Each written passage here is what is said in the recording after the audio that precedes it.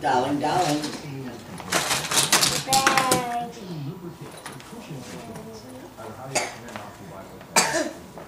You getting ready to go to school? No, Huh? no. Why'd you throw all that stuff on the floor? Come on, pick up pick up that stuff. It's time to go. I'm trying to put my sponges in here. Oh, in case, in case you uh, bang your fingers again? No, Huh? no, No? Get your sunglasses in case it's sunny.